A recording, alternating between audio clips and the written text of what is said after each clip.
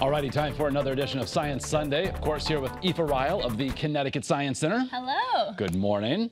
Uh, so we're talking about the Earth's magnetic pole. Yes, yeah, Okay. we're going to be talking about a little bit of the uh, science of the Earth's magnetic field and also navigation, so Okay. how we use it. Um, so we're going to start off talking about the, the idea that the Earth has a magnetic field, Okay. um, which it does because of the molten iron in the outer core. All right. That gives it a magnetic field. Um, and it has kind of an interesting look, and we can see that a little bit. If I put a magnet on this window, this window is full of iron filings. Do you see how we get those two spots that get pulled? There you go. Yeah, Oh, where the actually poles shows are. that was unintentional, but you know, Yeah. definitely helped tell the story. Yeah, so these two, the two poles of this magnet are uh, where our magnet is magnetic. It starts pulling all those iron filings. And that's actually what our Earth's magnetic field kind of looks like. So here's an image of that. So we have our North Pole and our South Pole, thank you. yes. um, and so we have a lot of molten iron up there, and that's how we get this magnetic field. Okay. It's really important. It helps protect us from solar wind and keep us safe from UV.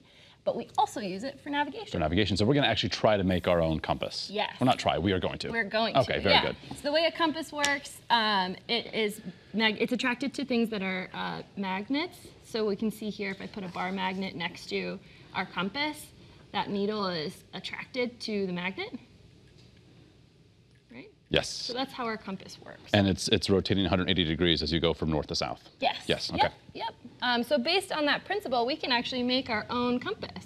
So based on the idea that uh, compass just points to magnetic north because it's magnetic, if we take a needle, Yep. we can make it into a temporary magnet, A needle pulling thread. a needle pulling thread. Yes.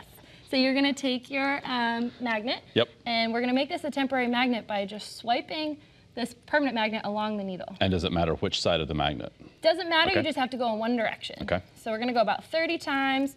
We're aligning all the electrons, the, the atomic domains in our needle. And we should point out too that this is just a nine by nine inch glass pan full of water. Yep, that's, that's all it is. Nothing special, no special solution, no special pan. Nothing at All all, right, no, cool. so just a magnet, a needle, and some water. All right. And then we gotta make our, mag- our needle float.